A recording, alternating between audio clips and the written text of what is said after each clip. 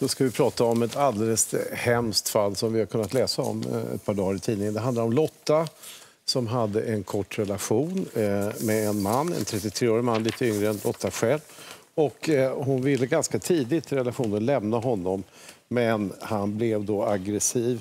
Och i helgen så bröt han sig in i Lottas bostad och helt enkelt misshandlade henne till döds. Och det som har väckt också mycket kritik är att bara fem dagar tidigare så satte den här eh, mannen anhållen för grov kvinnofridskränkning och eh, släpptes också från ett fängelsestraff. Mm. Ja, det är smärtsam, smärtsam läsning att ta del av, av det här fallet. Välkomna hit Katarina ja. Wenstam som är författare och debattör engagerad i kvinnofridsfrågor samt jämställdhetsminister Åsa Regnér. Katarina, hur reagerade du på den här nyheten i helgen? Ja, tyvärr som man gör alla gånger. För det är, det är också det som är viktigt att komma ihåg i det här fallet. Att det här är inte första gången vi ser något exakt likadant. Att det är en kvinna som har ropat på hjälp, som har bett, sökt samhällets stöd, som har larmat, som har polisanmält och så just när hon försöker lämna. För det är det jag tycker är viktigt att komma ihåg. Alltså, samhället skickar ju hela tiden ut signaler till, till kvinnor som lever i våldsamma relationer att de måste lämna. Men problemet är att när de väl tar det steget och gör det och lämnar, då är det det i särklass absolut farligaste ögonblicket i en kvinnas liv. Det finns ingenting som är farligare än att, än att lämna en mm. våldsam man som inte kan acceptera att hon vill gå. Och då sviker samhället när det är som farligast. Och I det här fallet så är det ju en dokumenterat våldsam man dessutom, ja. dömd i flera omgångar. Och ändå så sker detta. Jag skulle säga att det finns en otrolig naivitet i samhället när det gäller att farlighetsbedöma våldsamma män. Det finns verktyg som polisen och åklagare kan använda som är väl utarbetade men ändå så ser vi gång på gång på gång hur det inte används så som det är tänkt. För det är ju inte liksom en, en kille vilken som helst utan det här är en man som uppenbarligen inte överhuvudtaget kan hantera en kvinna som vill leva ett fritt liv. Mm. Vi har också med Sven-Erik Alhem, jurist på Skype som brukar eh, kommentera pågående rättsfall. Sven-Erik Alhem, hur ser du på det juridiska i det här? Eh, åklagaren hävdar bland annat att eftersom målsägaren inte ville, sam, ville eller vågade, det vet vi inte då, samarbeta i det här fallet så, så kunde man inte eh, hålla kvar mannen. Ja, det är väl jätteviktigt att säga först att riksåklagaren har tagit ett initiativ, mycket bra initiativ, att granska det här fallet förutsättningslöst. Och innan man får den granskningen gjord så är det svårt att rikta kritik mot någon om man inte vet exakt de bakomliggande förhållanden. Men man kan säga allmänt så är det väldigt viktigt att när det gäller allt våld mot närstående att man inte som åklagare låter sig göra beroende av att en återkallelse sker, ett återtagande av en anmälan sker. Därför att man ska se till att man dokumenterar på ett tidigt stadium den berättelse som kommer från målsäganden. Videodokumenterat så att det är ägnat att inte leda till en återkallelse. Och om en återkallelse kommer, då ska man vara oerhört noga att utreda grunden till att återkallelsen sker. Om man gör det ingående när det gäller våld mot närstående då minskar ju risken för att det skulle finnas ett hot bakom som gör att eh, den här återkallelsen sker. Mm. Jo, det är korrekt. Eh, Åsa Regnér, hur reagerar du inför det här som har hänt? Ja, men med, med, smärta och eh, bestörtning och ilska förstås. Eh, det här är ett samhällsproblem som finns. Jag kan inte kommentera ett pågående eh, rättsfall. Men att vi har ett stort samhällsproblem i Sverige som handlar om våld mot kvinnor är uppenbart. Bara här i Stockholm finns det tio skyddade boenden som nästan alltid är fulla. Helt enkelt därför att det finns män som anser att de har rätt att kontrollera kvinnors liv och som är aggressiva och våldsamma mot kvinnor. Och därför så jobbar jag förstås som jämställdhetsminister hårt med den här frågan. Och det som jag tror att vi behöver göra mycket mer eh, runt, och det är inte bara mina egna åsikter utan det finns också väl belagt, det är att förebygga våldet på olika sätt. Och därför så jobbar vi med både insatser som riktar sig till alla pojkar och män, eh, med kunskap om jämställdhet och respekt och så vidare, men också insatser som kommer, där man kan nå män som har ett särskilt eh, våldsamt beteende. Eh, men, så jag tror att vi måste jobba mycket tidigare, men vi måste också ha insatser runt individer som har visat eh, såna här tendenser eller som är eh, våldsamma. Du jobbar i en uttalat feministisk regering.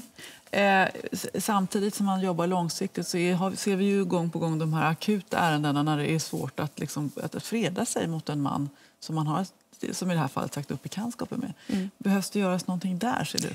Jag tror att, som jag sa, man behöver göra eh, all, allting brett. Och vad vi gör är när det gäller skyddet mot kvinnor, 100 miljoner till kvinnojourer som ska komma till så lokalt kvinnojoursarbete som möjligt. Sen har kommunerna också ansvar för att se till att man har just skyddet runt kvinnorna. Eh, sen så jobbar vi då, som jag sa, förebyggande, för det är det vi har gjort minst av.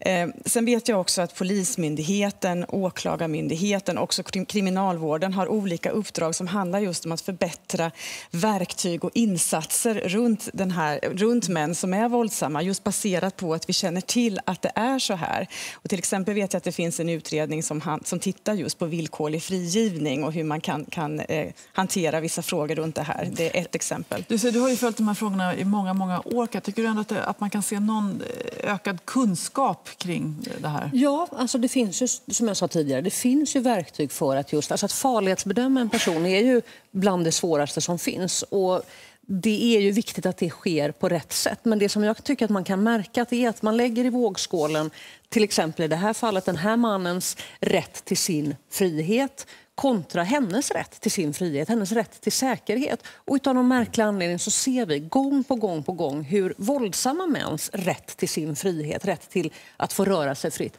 det väger tyngre än de här kvinnornas säkerhet och deras frihet. För att en kvinna som är hotad på det här sättet som hon var är inte fri. Hon måste ha varit så fruktansvärt rädd mm. den sista tiden i sitt liv. Och dessutom så verkställde han det han hade hotat med. Så det, det är ju liksom här vi liksom hela tiden står och stampar i form av att vi vet någonstans att det finns män som är fullständigt livsfarliga mm. för kvinnor.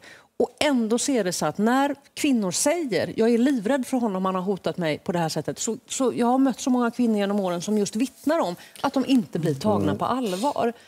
Sven-Erik Alhem, det, det, där är ett rimligt eh, resonemang om man sätter den enas frihet eh, gentemot den andres frihet. Eh, behöver vi någon förändrad juridik för att få ordning på det här? Inte alls, utan det som behövs är egentligen en bättre utredningskapacitet, en bättre utredningsintensitet där man säkrar bevisning mycket tidigt i en utredning så att man undanröjer risken för påverkan från den man har anmält som kvinna. Det är jätteviktigt att man inte låter en man få utrymme för att hota en kvinna till att återta anmälan. Har man videodokumenterat de grunduppgifter som är lämnade i en anmälan så kommer den risken att elimineras på ett mycket påtagligt sätt. Och då kan inte bara en, ett återtagande leda till att man som åklagare anser att man inte har tillräcklig bevisning. Mm. Detta är jätteviktigt. Och ett också mycket viktigt är att ingen och inget återtagande ska få ske utan att man noggrant utreder vad grunden till återtagandet är. Men i den här akuta situationen när en person är hotad och rädd och den andra är den som hotar och, innan så att säga, eh, rättsapparaten har hunnit ta någon i förvar, så att säga, hur, vad finns det för hjälp där? Ja, det, måste, det, det är polisens skyldighet att göra en riskanalys, riskbedömning för att se i vad mån man kan sätta in åtgärder för att skydda målsäganden. Det gäller ju alla brottsutredningar och där har polisen ett jätteansvar såklart. Ett, ett råd till kvinnor som i någon mån känner sig utsatta är att hela tiden dokumentera och hela tiden berätta då för andra. Ja, också. och att söka, söka hjälp. Söka det är ju ändå så. Det finns ju, det finns ju kvinnojourer och det, det man har också som brottsoffer i sådana här fall så har man också rätt till ett eget mål, målsägande beträde som kan tillgodose och förklara juridiken och hur viktigt det är, olika bitar mm. som kan vara svårt för, för en utomstående att förstå. Och, så det, det tycker jag är jätteviktigt att, att komma ihåg att man har också, det finns hjälp att få. Det mm. finns också en, en, hel del förslag på det här området. Vi gör mycket. Jag har redan satt igång en, en, rad program för att förebygga våldet, som jag sa, öka de insatserna. Men jag kommer att lägga också en skrivelse, eller ett, ett förslag om en strategi mot våld mot kvinnor, där vi samlar alla de här aspekterna i höst. Och det är också tillfälle att ytterligare ta in förslag och tankar om hur vi stärker det här arbetet. För det är, det är en prioritering för mig. Det är en jätteviktig fråga i vårt samhälle. Mm. Mm. Det är det verkligen. Ja, eh, Lotta. Svår, svårt också att ta hand om de här väldigt våldsamma männen som upprepar. Ja, Vad gör man med dem? Det är inte bara, man ska Nej. inte tro att det bara är att göra slut med Nej. en sån här kille. Som att liksom nu är relationen över Nej. och så är det slut. Utan han accepterar inte det. Det är det som är det stora problemet. Mm. Ja, han har avtjänat sitt straff men fort, har fortfarande kvar det här våldsamma beteendet. Och det är också en fråga som man måste helt enkelt eh, mycket mer titta på. Och där har också Kriminalvården eh, i uppdrag att söka samverkan med kommuner, landsting vid frigivning i vissa fall. Och, och, så det finns en rad förslag som kommer att komma även där. Eh, så vi måste stärka alla delar runt det här och vi måste fortsätta, för jag håller med om att vi ändå har ett, ett mycket mer utbrett samtal om det här som ställer fokus på det och som visar att det här är inte en privat fråga som det var för kanske 20 år sedan. Det är verkligen en samhällsfråga. Och när vi gör det så ökar vi kunskapen och fler också eh, vågar söka hjälp. Och, eh, men det, är- jag, jag tycker det är oerhört viktigt att ha fokus på män och på maskulinitet och på eh, sätt att tala som accepterar våld. Det finns kedjor från det till att somliga faktiskt utför våldet och det går inte att acceptera. Mm. Det får bli slut. Tack så hemskt det bli. mycket Åsa Regnér och Katarina Wenstam. För ni kommer ju också Sven-Erik Alhem som alltså var med oss på Skype från Malmö. Ja, ska vi ta några då